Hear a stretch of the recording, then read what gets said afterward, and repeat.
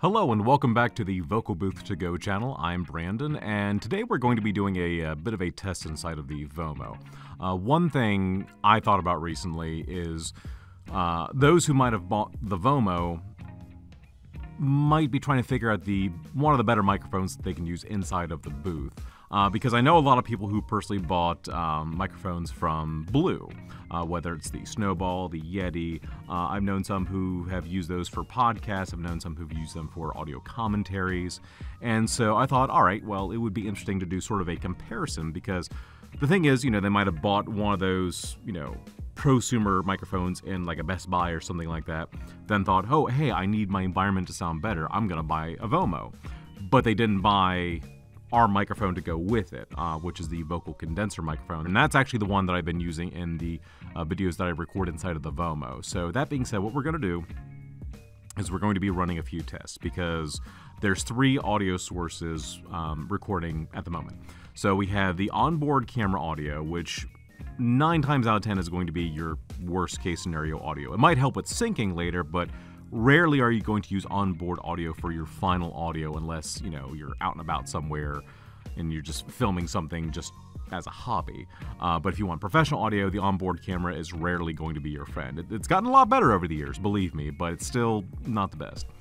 And then obviously we're going to be going to the Blue Snowball as well as the uh, vocal condenser microphone from, uh, from Vocal Booth to go.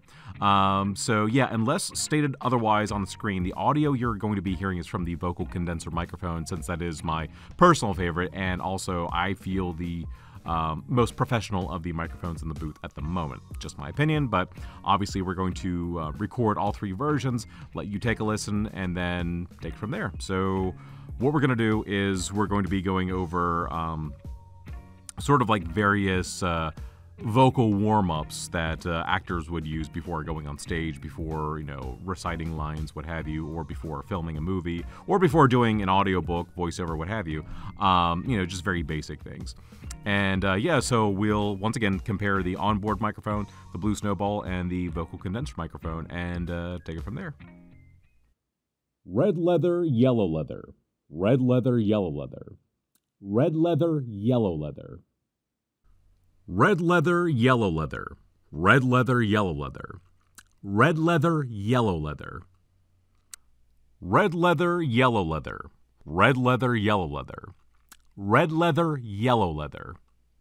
I still sound like I mumble when I say that. Unique New York. Unique New York. Unique New York. Unique New York.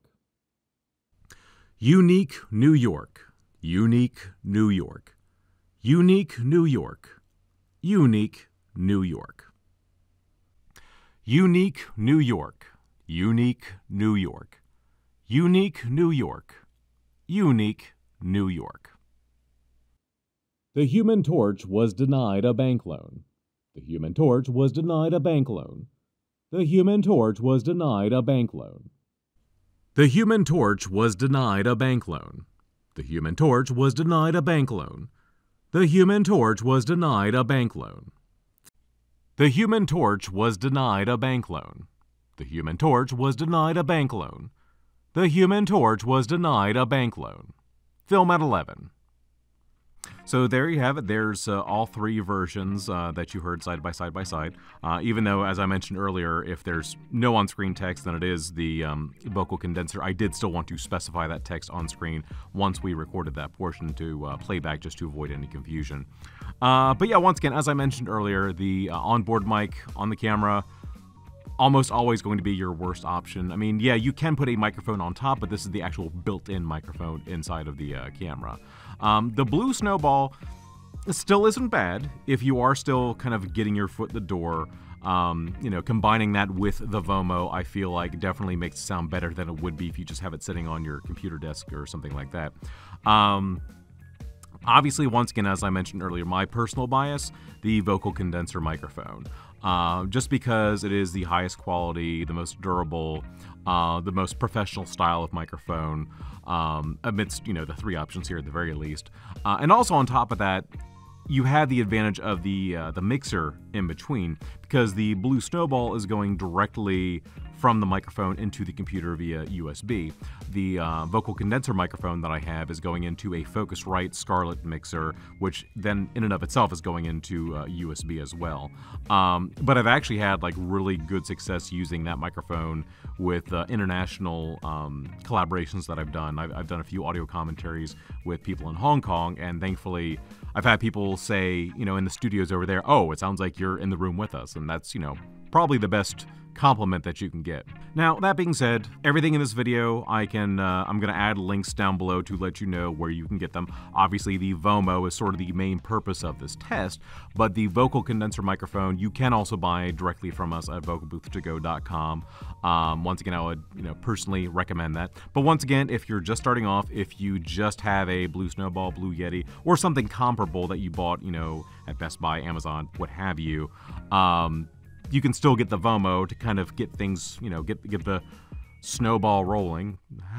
Or if you really want to step your game up, I will go for the uh, vocal condenser microphone. Uh, it's come in very handy. Uh, I, I've come a long way from just recording using a uh, lavalier microphone, treating it like a standalone microphone. Um, but uh, yeah, as always, if you have uh, further questions about the Vomo, feel free to contact us. You know, either in the comment section or on our social media pages. You know, Instagram, TikTok. We also have YouTube Shorts as well. Um, anything like that, you know, give us a call, give us an email. Um, we'll have all the information on screen and, of course, in the uh, description down below. And uh, yeah, so I think uh, that covers it for now. So uh, once again, um, hopefully this was informative. Hopefully I wasn't rambling too much, but uh, hey, if I was rambling, it was in good quality. But anyway, uh, I hope you had fun. I hope you found it informative, entertaining, you know, what have you. Um, like I said, if you're just starting off with your microphone options, but you've jumped into the Vomo, you're already making good strides there. Um, if you want, tag us on Instagram, TikTok, what have you, with what you've done with your Vomo and the microphones you have in there.